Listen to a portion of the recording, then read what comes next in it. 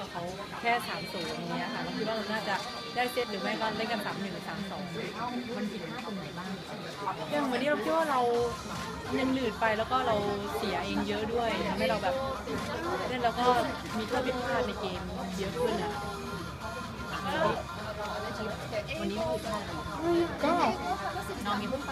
ส่วนตัวคิดว่าทุกอย่างนะครับเพราะว่าเหมือนกับวันนี้เราเหนื่อยเหมือนอาจจะเกี่ยวกับสภาพอากาศด้วยอะไรด้วยร่างกายอะไร เงี้ยดูเหนื่อยๆดูแบบเล่นไม่ออกใช่นะดูอย่างนั้นรู้สึกว่าอย่างนั้นแต่ว่าเขาก็เตรียมตัวมาค่อนข้างดีดูแล้วดูเลยว่าเขาเตรียมมาบล็อกเราในทุกรูปแบบเลยแล้วเขาก็มาเก็บตัวที่นี่ก่อนสิบวันก็คิดว่าเขาคงจะเขาเขาเตรียมตัวมาค่อนข้างดีด้วย แล้วเราก็ทำได้ได้ไม่ค่อยดีด้วยแบบนี้